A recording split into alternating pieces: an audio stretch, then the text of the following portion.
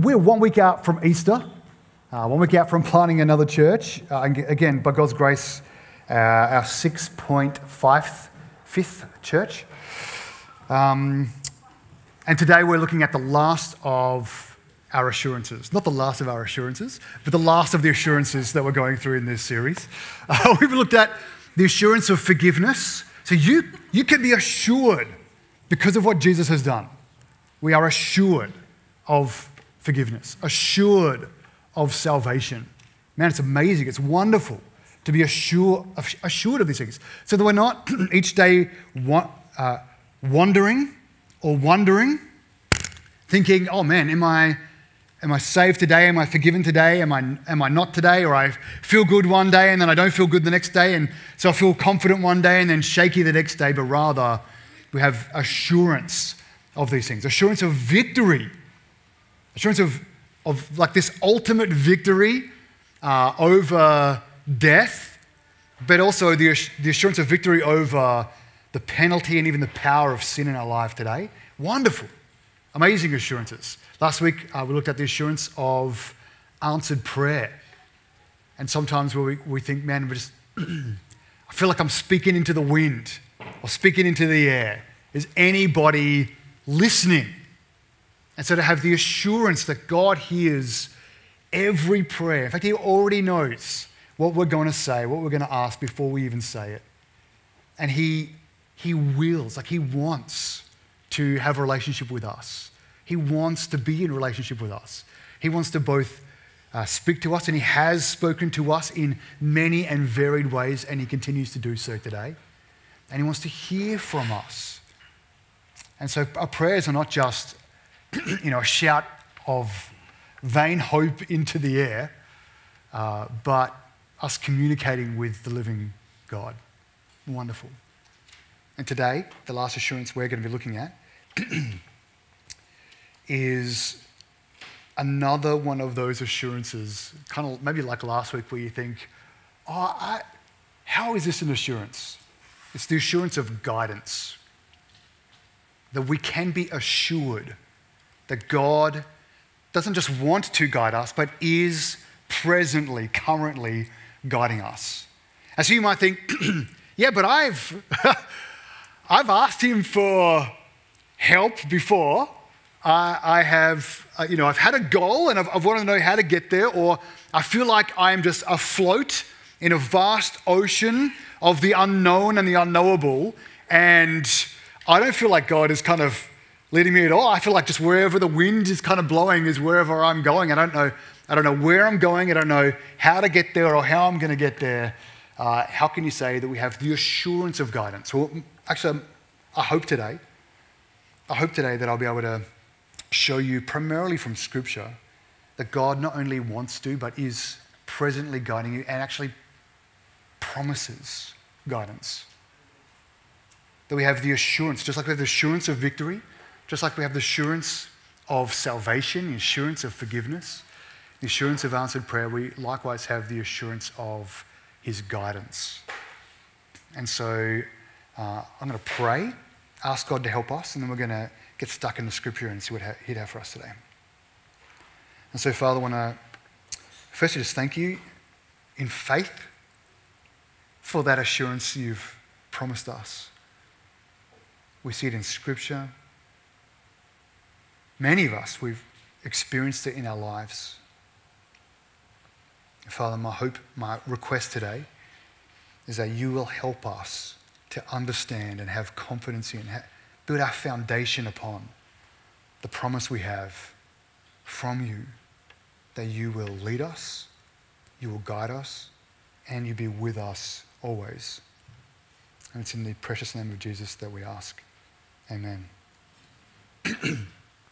Uh, so often, I don't know if this is like you, but so often it seems to be when we go to God for guidance, when we want His direction, what we're really asking is not, not with a zoomed out overall picture of our lives, uh, foundationally, God, take me from the very kind of essence of who I am to where you want me to be. And it's more like, well, I've already decided most of what I want to do, and now in this very narrow band, of what I haven't yet decided, God, would you help me to distinguish between these options that I have placed in this narrow band?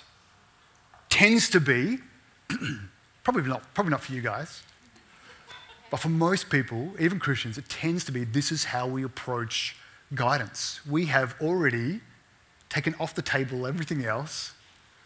We've, we've kind of decided in our own right, this is the direction we are going. In fact, these might even be the goals we want. And so, my guidance, God, is help me to get to where I already want to go. In this narrow band, this narrow field of vision that I'm blinkered to everything else that, that might be around. I don't want you to help out here. I certainly don't want you to bring any of these options into my field of view because I've already decided this is where I'm going, but I need your help to get there. Uh, but I don't think that's actually how, firstly, how we're built to operate in life. It's not how God has promised to guide us. Uh, it's not helpful for us. We have been given an assurance of guidance. But because we start so far down the process of decision making, often we've actually we've kind of blinkered out or elbowed out the very path God would have us tread. and so when we say, oh, how come, how come I feel like I'm asking and I'm not getting any guidance, God? You're not helping me to get to my goals because the way He wants to guide us isn't even in our field of vision. We're, we are blinded or deafened to His leading and His guiding because it's not in accordance to our will. This is what the writer of Proverbs uh, writes. Chapter 3, very famous verse. It says, Trust in the Lord with all your heart. So, with everything you have. Trust in the Lord. And remember, every week, basically, we've started with how, how do we, if we, if we can acknowledge that there is an assurance of these things, how do we actually lay hold of these things? How do we build our confidence into those assurances? How do we actually claim those assurances for ourselves, if we can put it in that way? Every week we started with the trustworthiness of God actually, the, the competency of God, the majesty and the might, the faithfulness of God. and here again, the writer of this proverb starts with trust in the Lord. This is where our hope comes from. He, he is the one we can build all of our hope upon. So trust in the Lord with all your heart, with everything, and don't rely on your own understanding. In all your ways, know Him, or acknowledge Him, your version might say, and he will make your paths straight. So again, he's saying, don't rely on your own understanding. And so, uh, by that, when we come to decision making uh, or guidance from our own perspective, where we've already gone a fair way down the path of decision making and blinkered, uh, blinkered our lives to, to, to kind of much of what God might have for us, when we read this, we actually go, okay, we're going to lean on our understanding. But with all of our ways, we need to know Him or acknowledge Him or seek Him.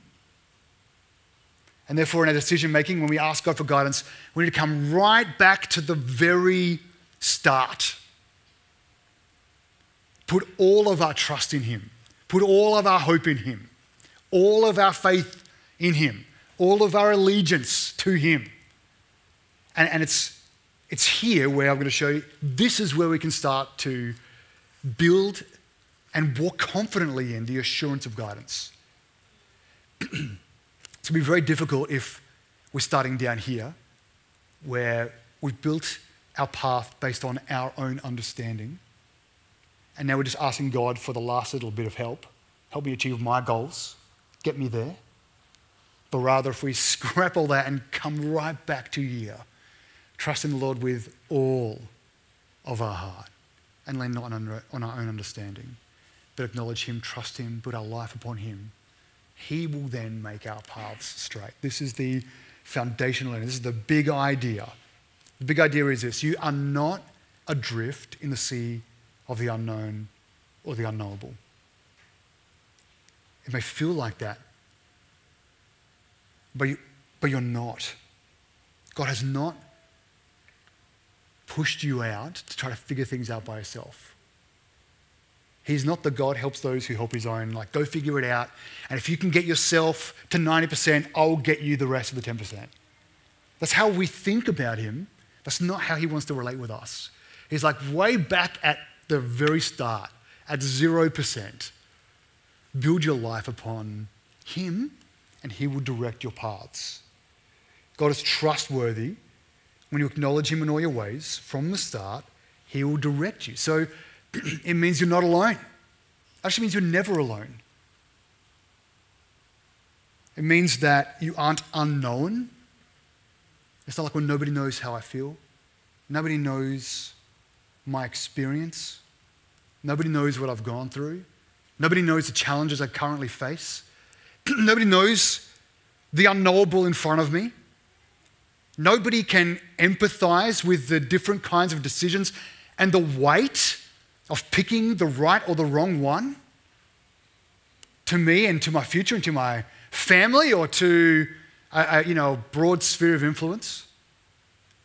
But rather, you do. You do have somebody who knows you, who loves you, who is immanent, intimately aware of everything that you're currently going through. And more than that, has promised to guide you, is, is with you and leading you and guiding you. What we want to do today is do some of the work of finding out how do we walk in that assurance? How do we kind of, how do we, how do we live in that? How do we do that? Well, the, for today, purpose of today at least, there are no less than five ways God's given us to help discern His guidance.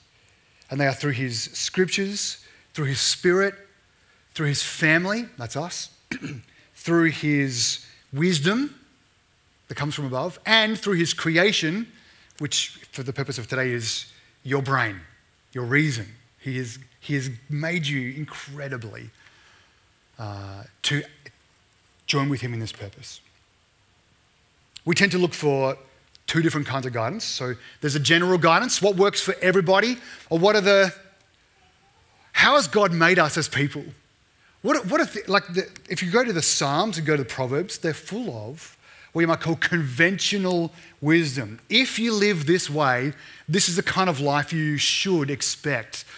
call it conventional wisdom and not necessarily promises because we live in a fallen, sinful world and we are still beholden to some degree to the, the effects of other people's sin.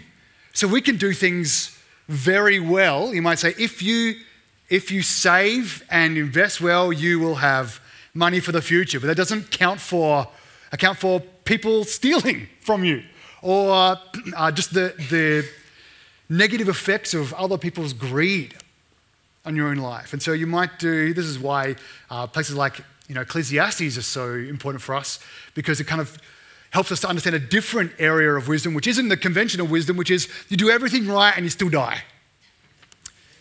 Or people are really wicked and they still seem to succeed. And so um, we can look at general guidance in Scripture uh, in, in those five areas. But then you might also look for specific guidance.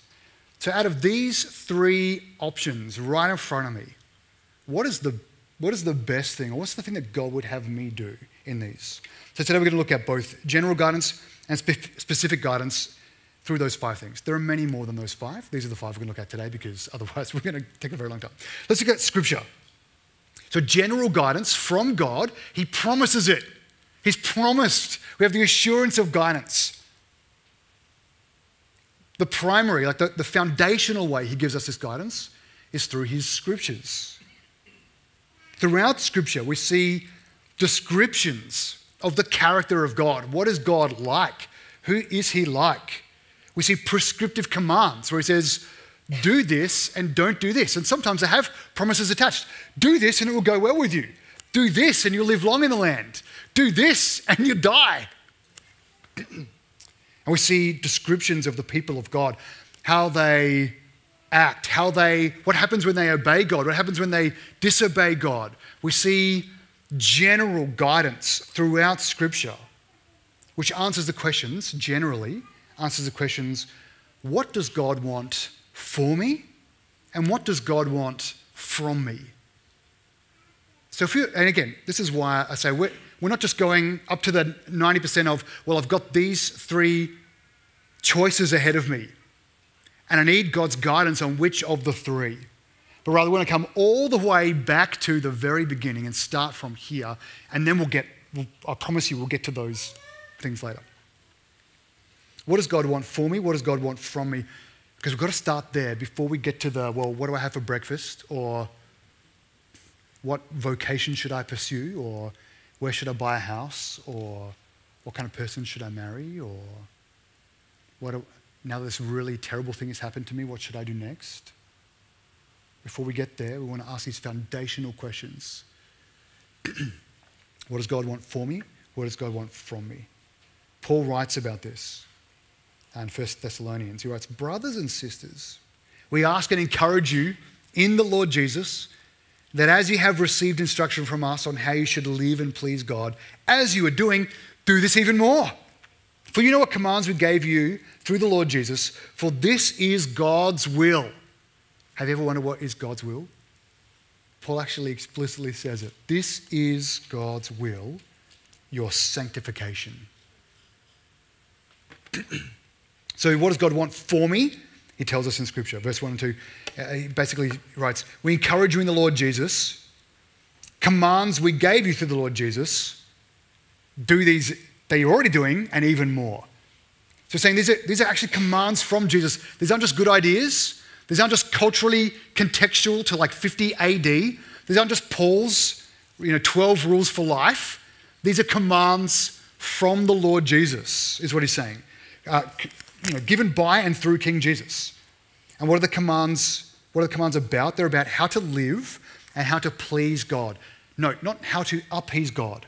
He's not talking about salvation. He's not talking about works righteousness. He's not talking about if you can just live this life like this, you will work your way up to the love of God and He'll love you. If you climb this moral ladder and get over this kind of threshold, it's not what He's saying. God is already pleased with you, God already loves you. He doesn't need to be appeased. He's for you and He's with you. And so when Paul's writing, like, how, we, how should we live? What, how do we obey these commands? What are the commands that God has already given us? Do. They live, uh, they teach us how to live, how to please God. The God who already loves us, the God who has already saved us. In giving these commands, he says, even for the, for the Thessalonians, it's a reminder. It says, You're already doing it. You're already living this way. It's amazing. You have been given these commands by King Jesus. You are living in them. And Paul says, do them even more. You're doing great. Keep going. Live like this. Why? He says, because it's God's will for you. There's a couple of places actually in Scripture where uh, the Spirit shows us explicitly this is God's will for you. This is what God wants for you, or this is what God wants from you. So First Thessalonians 4, we, write, we read, is your sanctification, your Christ likeness. That you become more and more like Jesus. That you'd reflect his image, think more like him, love more like him, lead more like him, relate to the Father more like Jesus, relate to others more like Jesus, relate to sin more like Jesus. And then in 1 Thessalonians 5, it says, Rejoice always. Pray without ceasing. Like be in that communication with the Father who loves you all the time. Give thanks in all circumstances, for this is the will of God in Christ Jesus for you. Or you go to Colossians 1, it says, uh, What's God's will? Bear fruit and know God more deeply. Or Ephesians 5, he writes to the church in Ephesus, What's the will of God? Be filled with the Holy Spirit. All of these just different angles, or different aspects of the same will, which is God drawing you to Himself and making you more like Him. That's what God wants. What does God want from you? That you would become more like Him, that you'd, that you'd come to Him, that you'd be in a relationship with Him. What does He want for you? That you become more like Him. This is, this is if we want guidance, the foundational guidance God give, has already given us. And it's the constant guidance through Scripture, the constant guidance through history. What does God want from us and for us? He wants you. He wants you to be with Him and He wants you to be like Him. And He has done everything necessary for those things to happen. He's dealt with our sin, He's even dealt with death so that we could be with him and like him. It's wonderful. It's one of the reasons we can have such assurance of his guidance. Because what he's guiding us to is the thing that he wants. And he is acting in accordance with his will, which is our sanctification. And So he will guide us into our sanctification. The rest of uh, this chapter in 1 Thessalonians gives us examples of what that life looks like. And there are other places in Scripture that gives you examples of what that life looks like. And we don't have time to go into it today, but I highly encourage you to read the rest of that chapter and see, again, before we get to the, you know, which of these vocations or study or relationships or whatever should I, should I pursue, instead come back and first ask, first ask these foundational questions. What do you think about the guidance? You know, again, uh, we do want to get to the what should I do now or what should I do next, that kind of particular guidance. And we need that kind of guidance. Again, uh, not so much when it's a question of, well, here's a good option and here's a bad option, which one should I, which one should I use? Uh, or here's a, here's a, you know, should I um, do something positive or should I do something negative? There's an easy kind of things to kind of figure out uh, in, our, in our own right, even. Um, but when we're trying to think about those kind of significant life altering decisions where if we make this choice, it excludes other choices. If I marry this person, I can't marry these people. Uh, if we decide to have another child, we can't then not have that child. Uh, if I buy this house, it means that I might not be able to buy that house. Or if I choose to live in Adelaide, it means I can't go live somewhere else, etc. And so not only do we want to ask those foundational questions, we also want to ask these other bigger questions. Not even bigger questions, just questions that we won't randomly open scripture or even through the whole breadth of scripture won't necessarily tell us what should I be eating for breakfast today or what should I wear today and those kinds of things.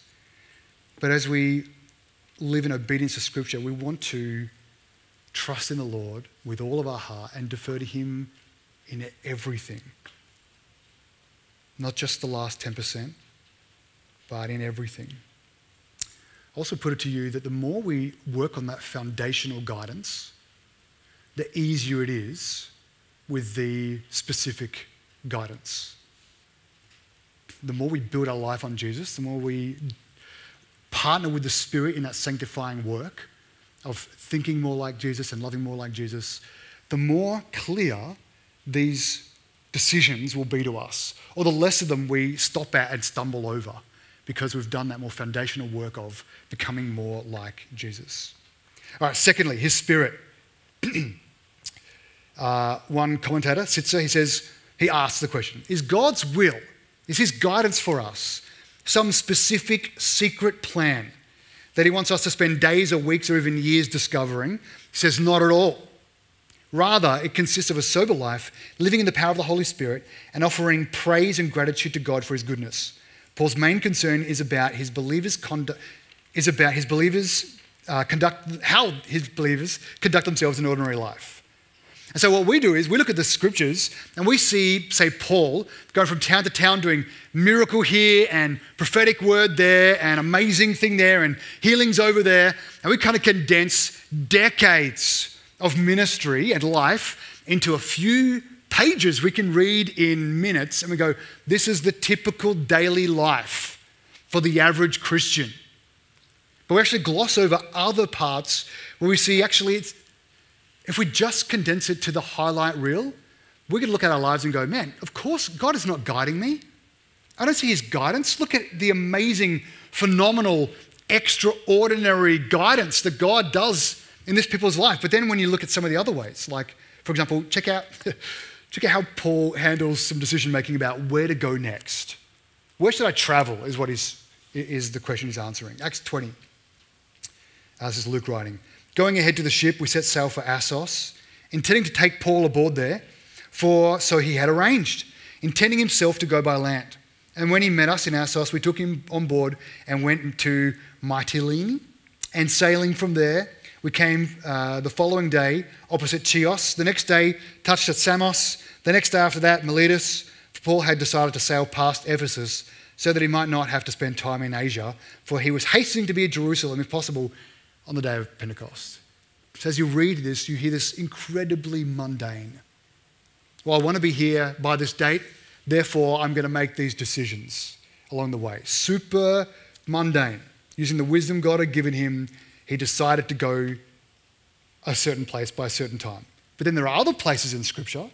You hear about the big kahunas in the early church writing a letter to the church. And this is what they write. They say, We have therefore sent Judas and Silas, who themselves will tell you, not, not that Judas uh, and Silas, who themselves will tell you the same things by word of mouth. For it seemed good to the Holy Spirit and to us to lay on you no greater burden than these requirements. You abstain from what has been sacrificed to idols and from blood and from what has been strangled and from sexual immorality. If you keep yourselves from these, you'll do well. Farewell. This is the letter that they write to the church who are trying to figure out what is the will of God. And this is what they say it seemed good to us and to the Holy Spirit. So if you do these things, you'll do well. Farewell. It seemed good to us and to the Holy Spirit. What about when it came time to choose a place, a replacement for Judas? That Judas. Here it is 12 apostles of Jesus, leaders in the church, carriers of the true doctrine. Like the, the ones who we form when we talk about the doctrine of the church, we base it on the apostles' teaching. This is how they, they made this decision. They picked two guys they got him to draw straws to see who got the short one. That was the one. So imagine, like, at the, at the birth of the church, right? How are we going to decide who is going to be one of the 12 apostles? The pillars, the foundations of the church. We're going to pick two dudes and get them to draw straws. Trust in the Lord. Lean not on your own understanding. What we don't want to do is, uh, what we don't want to do is lean into fatalism on the one hand, where we say, well, God's in control, therefore it doesn't matter what I do, therefore I'm just going to go for it, whatever it is, and just ask God to bless me along the way. That's not what this is saying. This is not an invitation into fatalism, um, but neither is it a, an invitation into some sort of hyper spiritualism, which says, well, I'm going to hear from the Holy Spirit on every aspect of life. And I can't move until I hear from him. You hear even Paul talking about where he goes in other places. Well, I wanted to go over here, but the Spirit prevented me. It's not like he waited for the Spirit to tell him what to do. It's kind of as he was going, he was trusting in the Lord with all of his heart, not leaning on his own understanding, but acknowledging God in all of his ways, and God directed his paths. And this is how we engage with the Holy Spirit as well. Uh, to not ruin, to condense an Augustine quote where it says, Love God and do as you please.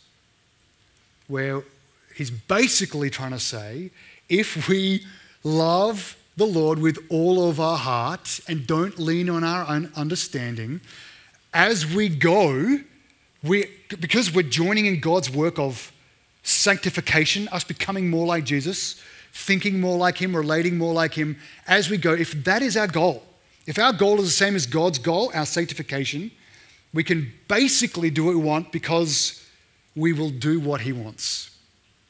And we trust that as we go, because we're not leaning on our own understanding, but loving Him with all our heart and acknowledging Him, acknowledging him in all of our ways, He will direct our paths. Thirdly, His family. I do want to talk more about how do we hear from His Spirit, and we'll do this in the context of family in a minute. Our God has gifted us not just the scriptures, which are wonderful, not just the Holy Spirit, which is He's amazing. He, he is God Himself with us. He's gifted us this family. We are not built and not meant to do life alone, abstract from the family of God. He's gifted us each other. Another proverb where there is no counsel, the people fall, but in the multitude of counselors, there's safety. And so I think there's a threshold to that. You know, uh, you want to ask some people, and not necessarily everybody, because you'll get too many different uh, ideas of, of what to do or where to go. But I fully believe that we are a spirit filled community. So if we want to hear from the Holy Spirit, that's not just one single vertical relationship, you and God, but it's also a multitude of horizontal relationships. You, a spirit filled child of God, and we, the spirit filled community of, community of God. That you will hear the Spirit of God speak through other people as you search for and look for wise counsel. First Peter, he writes, as each one has received a gift, minister it or serve it to one another as good stewards of the manifold grace of God. Meaning he has gifted us a very varied and diverse group of people with different backgrounds and, uh, and ideas and education and interests and experiences. All the one spirit, but all very different people. And man, we are, the, the we of us is such a gift to the, to, to the I of us, if that makes sense, the individuals here. That we have a community that also love the Lord also partnering with Him in that sanctifying work, also want to use our gifts to serve one another. How did the, you know, after the apostles chose the, the 12th apostle by, you know, by lot, how do they, how do they then decide on a very important task that needed to be done, recorded in Acts 6? Uh, there was a group of people being neglected in the daily bread distribution and they needed help. So they just went to the church and said, Hey, church, choose from amongst yourselves seven men who look like this. They went to the church and said, You guys sort it out. Discern amongst yourselves. We all have the Holy Spirit. We all have uh, varying, again, experiences and education, and we can discern Let's discern together. Sort yourselves out and decide. Fourthly, God has gifted us with reason. He's given you a, a brain and a mind to be able to actually work things out. Not abstract of the other things. Again, that's what gets us into the trouble in the first place. When we only use our reason and we travel the 90% of the way with our reason, and then we go, oh my goodness, now I need to get some help. Let's go find some people who love me who can help speak into this. Uh, let me ask the Holy Spirit. Let me search the scriptures. Uh, that's kind of that's the backwards way of doing it. Uh, but we don't want to neglect our reason.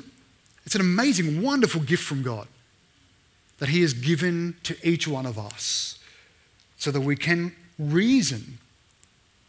God even tells Isaiah, He says, let's reason together. Don't neglect this wonderful gift that God has given you. Again, we don't want to err on the side of fatalism, where uh, we just whatever will be, will be. We don't want to err on the side of this hyper spiritualism, where we say, well, I don't need to use my brain because I'm just going to, the, the Spirit will magically download everything I need. No, no, no. We, we're doing this in partnership with God. It's how He's made us. It's wonderful. Jesus, Jesus says, uh, Which of you, Luke 14, wanting to build a tower, doesn't first sit down and calculate the cost to see if he has enough to complete it. Otherwise, after he's laid the foundation and cannot complete it, the onlookers will begin to ridicule him, saying, This man started to build a wall and wasn't able to finish. Or what king going to war against another king will not first sit down and decide if he's able with 10,000 to oppose the one who comes against him with 20,000?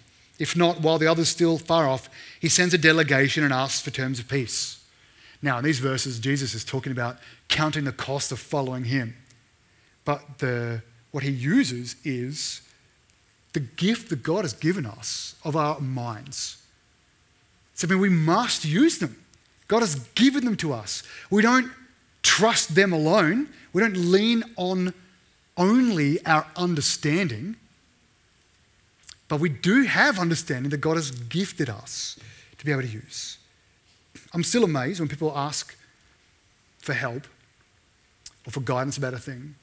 Uh, and I'll say, well, who have you asked? What, what's your current thinking on this? Have you even, like, have you Googled it yet? Uh, people say, well, no, I haven't asked anyone, haven't Googled it, but I'm stuck. I'm like, oh man, but God has given us like an amazing ability to reason to varying degrees, you know, among us. That's why we need each other. And I'm certainly not saying to blindly trust, you know, what everyone says on the internet at all.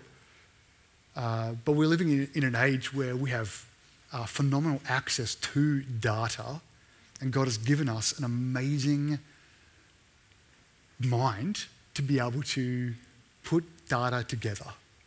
Again, we don't want to lean only on our own understanding. That's not what I'm saying. But we're partnering with God in utilizing the, the reason He has given us. And fifthly, not exhaustively, we want to use that reason, we want to apply that knowledge with wisdom. So, Romans 12 again, we've, we've been here before uh, this series. Be transformed by the renewing of your mind so that you may discern what is a good, pleasing, and perfect will of God. So that you can apply knowledge and reason in a way that leads to God's glory, that, in a way that leads to or puts you on that path that He has prepared in front of you. Does that make sense? Or James 5 if any of you lacks wisdom, if you don't have the wisdom, or you can't reason your way to it, or, or in wise counsel, uh, in going to the, the body, we can't discern what the thing is. Do you lack wisdom? I don't know what to do with this data. I can't reason my way to the, to the path ahead. He says, ask God, who gives to all generously and ungrudgingly, and it will be given to him. We don't go to God asking for wisdom, and then He's like, Oh, I didn't want to reveal this to you, but I see that you believe in Jesus, and so you've, you've caught me out, and now I have to, I have to do it. Or he found some sort of cosmic loophole, or oh, oh boy, I was hoping no one would figure that out, or I really enjoyed watching you kind of flounder about. None of, the, none of those things. God gives ungrudgingly and generously. He wants, again, what, it, what is God's will for you? He wants you to be with Him and more like Him. Ungrudgingly, generously. The, the path that leads to that, He wants you to be on that path. He wants to, He's made that path straight. Notice it doesn't say easy, doesn't say simple, but it does say straight. He, that's what He wants. And when, when we align with His will, and we want that too, He gifts that to us generously and ungrudgingly. So ask Him. If you lack, ask. If this, then that, and He will give you wisdom. And that wisdom may come through the scriptures. That wisdom may come through another spirit for believer. That wisdom may come through counsel, may come from just a de- you know, direct download from the Holy Spirit. may come from you know, something un- unlocked in your reason. Um, but he says he'll give it to you. That's what he wants. He's not a hard taskmaster making you figure it out by yourself. He's not up there going, oh, well, you passed that and you failed that, or tick cross, tick cross. I wonder if this guy's girl's going to figure it out. No, he, he wants it. He wants to give it to you generously, ungrudgingly. That's his desire for you. He said, become like Jesus. We see it over and over and over again in Scripture. That's what he wants. Let's go to him and ask him, and he will give it to you. Let's, let's wrap it up. Proverbs 3 5 Trust in the Lord with all your heart. Do not rely on your own understanding. In all your ways, acknowledge him. He will make your path straight. We have the assurance of guidance. What we don't want to do is just start up here with the last 10%, but in all of our ways. Let's start back here and ask, what does God want for me? What do, because that'll answer a bunch of those questions down the road before we even get to them. What does God want from me? That'll answer a bunch of those questions again before we even get to them. And then when we do get to those things, we're like, no, I don't know. I can't just go to scripture and, and see, it doesn't tell me which suburb to, buy, to, to rent a house in or buy. Should I rent or should I buy? It doesn't tell me which job I should be going for specifically.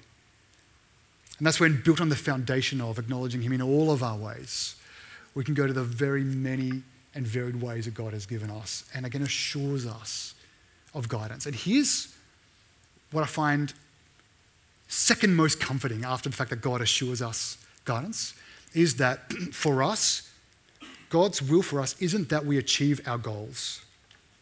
God's will for us is that we are drawn to Him and become like Him.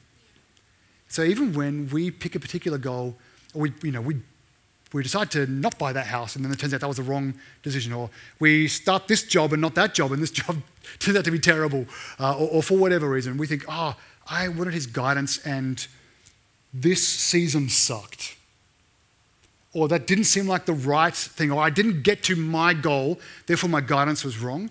But if we zoom out, we see actually what is God doing for us? He's making us more like Jesus and He's drawing us to Him. Those things go beyond a temporal context to the degree that, like Augustine says, love the Lord and do as you please. There is a degree to which it, it does and doesn't matter which of those specific choices you make because God is in all of them, drawing us to Himself and making us more like Him. And that is our goal. And God assures us of guidance towards that goal. And that's the thing that we were made for. And so we can have total confidence in God's guidance.